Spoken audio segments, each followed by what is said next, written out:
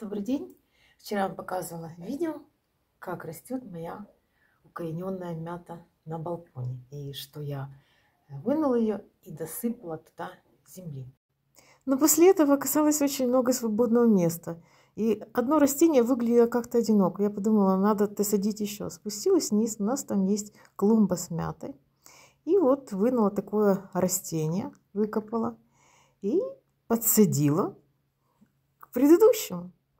Все было прекрасно. Была пасмурная погода, было влажно. Я поставила горшочек немного дальше на случай того, что если будут появиться солнышко и будут попадать солнечные лучи, чтобы не повредить э, листву, чтобы оно не завяло. Но выйдя на балкон, обнаружила, что одна нижняя веточка маленькая начинает наклоняться и вянуть. Я отставила горшочек вглубь балкона – Завязала целлофановым пакетиком, оставила небольшую щель, чтобы э, воздух попадал. Но, к сожалению, это не помогло. Это растение начало вянуть полностью. К сожалению, показать вам не могу, потому что я не думала вообще это снимать, а потом решила все-таки поделиться, это важно. Вот так сегодня утром выглядит это растение.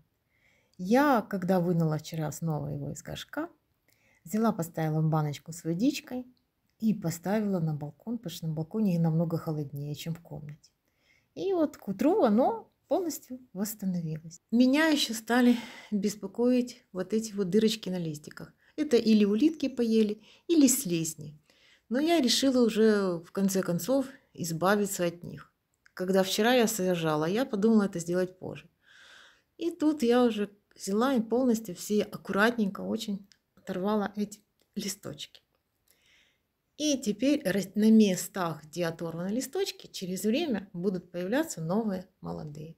Так что если у вас случились вот такие проблемы с этим растением, то вы можете воспользоваться моими советами. И всего доброго, дорогие мои. До новых встреч, до новых видео. Пока-пока.